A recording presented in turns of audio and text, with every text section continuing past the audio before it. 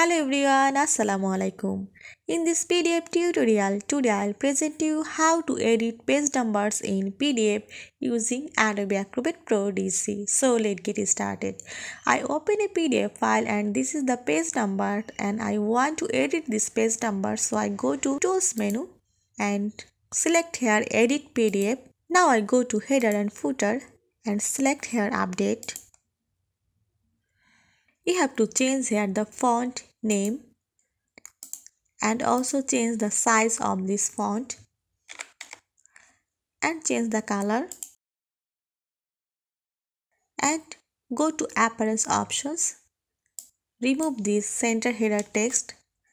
Just select here left header text and select here insert page number. And now you go to page range options.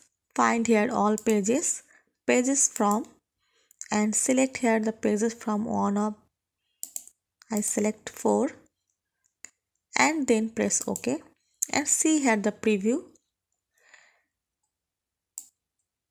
and then press OK. You see the page number are changed in page 1, page 2, page 3 and in this way you have to edit your page numbers in PDF document. I hope you'll enjoy this video. Thanks for watching and don't forget to subscribe my channel. Thank you.